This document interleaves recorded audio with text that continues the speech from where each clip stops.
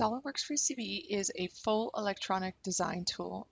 It allows for schematic and PCB designs to be created within each of those editors. It also has a full library editor for footprints and symbols. If you have a symbol, you can place it directly from the library editor and onto your schematic sheet. We also have support for supplier information. If I select a component and select supplier links, I can go and add any number of suppliers that are needed to my component. It allows me to see information such as the manufacturer, values, tolerances, pricing, quantities, and even the data sheet. If I negotiated pricing, it will bring those in when I generate my bill of materials. Here you can see the different suppliers in the list up above. And if I click OK, it adds it to the schematic.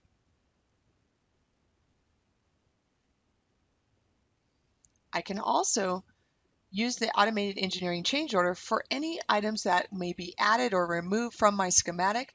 And when I push that or update the PCB, it will show a detailed report of all the changes that have been made since the last time it was updated.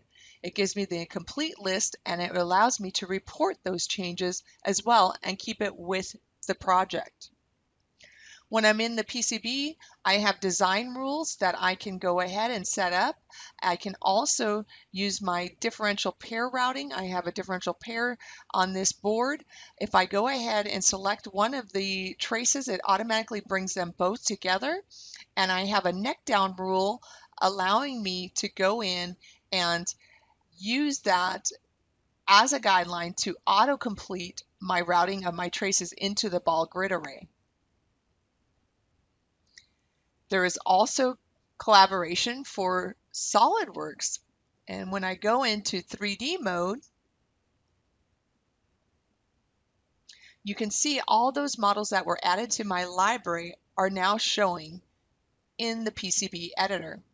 There is full collaboration with SOLIDWORKS, and you can see I can go ahead and make comments to the mechanical person and post that to a collaboration server.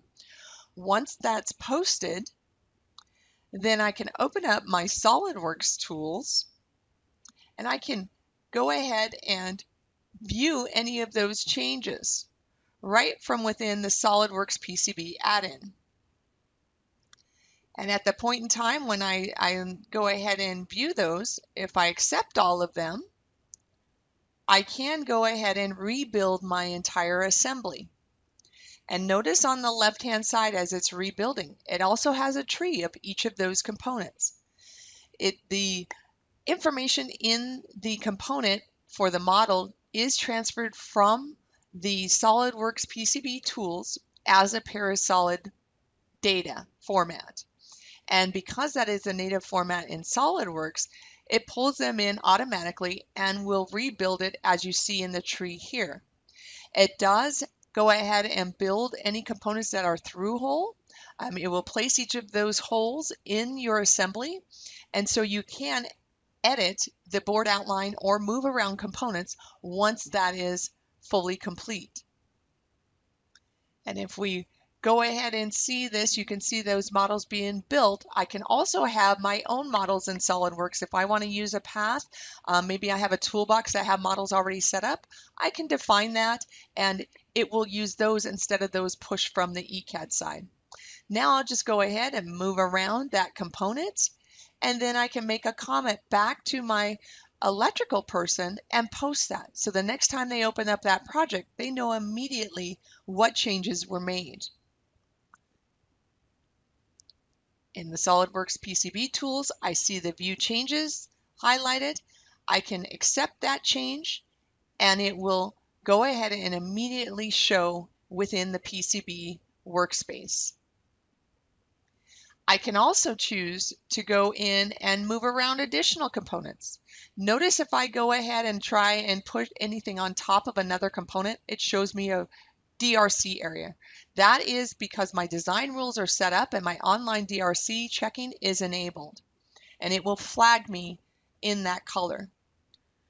Once your design is complete, you have it wired up, the placement is good, it's, it abides by your mechanical constraints, then you can output any of the documentation needed, such as your bill of materials, your Gerber files, your assembly drawings, your NC drill files, and any other documentation to support the design. This is a comprehensive electrical design tool.